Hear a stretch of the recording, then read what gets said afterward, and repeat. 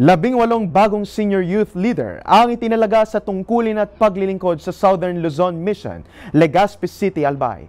Matapos ang pitong gabing masusing pagsasanay, sa biyaya ng Diyos ay nakatakda silang makatuwang ng Adventist Youth Ministry sa pangunguna at paglilingkod sa mga Adventisang kabataang bahagi ng amigos at young professionals. Maghahatid ng balitang may pag-asa si James Matthew Burse.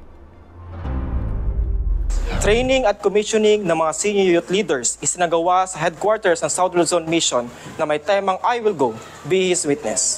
Pagkatapos dumaan sa masinsinang pagsasanay, labing walo na senior youth leaders ang nakomisyon mula sa South Luzon Mission.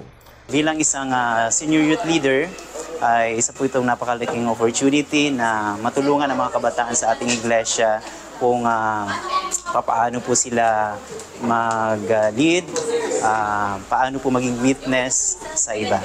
This is not about the neckerchief, kundi yung pagiging ah, involved mo sa gawain ng ating Panginoon. Ah, magagamit ito lalong-lalo na dun sa sa labas, sa mga campuses, churches na mga wala pa.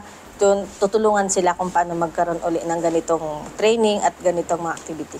Experience mo yung joy of service at ah, na kahit anong mangyari, sabi doon, kahit saan ka man pumunta, palaging ang service ang una sa puso. Sa loob ng pitong gabi ay pinag-aralan ng mga lektura sa digital na plataforma na naghubog sa mga leader na mas mapagtibay ang layunin sa paglilingkod para sa gawain ng Panginoon. Marami po dito mga topic na bago sa amin at alam po namin magagamit po namin ito hindi lang po sa inreach kundi po sa outreach. Yung covenant ko sa Panginoon bilang isang SYL is to serve Him uh, until the last breath of my life. embrace this leadership with humility.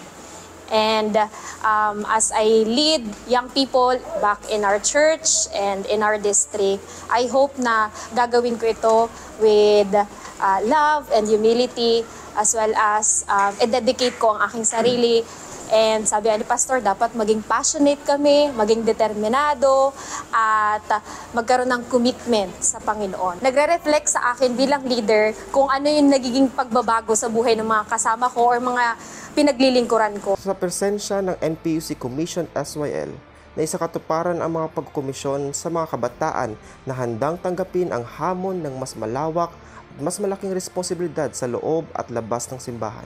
Alam mo, sa ating church, we are serving an organized church. We are serving an organized God. Kailangan nating sanayin sila, ang mga kabataang ito. At itong program na ito ay doon sa senior youth. There are two youth in our department. The junior youth, ito yung mga master guide, adventurer, and pathfinder. At sa senior youth, ito yung mga amigos, yung mga young professionals, yung mga young adults and ambassadors. So ito yung pitted na training para sa kanilang age. Kaya kailangan nila mag-undergo. At kailangan talaga nila ito dahil sila ang mga future leaders ng ating iglesia. Bawat personal na pagtatalaga sa Panginoon at sa gawain ay tunay na mahalaga sa pagsindi ng mga kandila ng youth at ambassadors.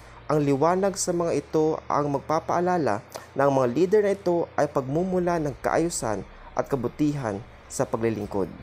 Ayon doon sa kandila na ating aming sinindihan kanina na ang Israel ang pinakamalaking kandila dahil sila ang may malaking ano panahon para yung kanilang mga kabataan na nakasunod sa kanila ay maging stepping stone yung kanilang nilakaran. Kaya dapat sila ay maging liwanag at halimbawa. Ang mga senior leaders ay merong courage, lakas ng loob para patunayan yung kanilang natutunan dito sa curriculum ng senior youth leaders. Mula dito sa headquarters sa South Luzon Mission, may layunin makapaghatid ng mga balitang may dalang pag-asa. James Matthew Burse, nagbabalita para sa Hope Today and PUC News.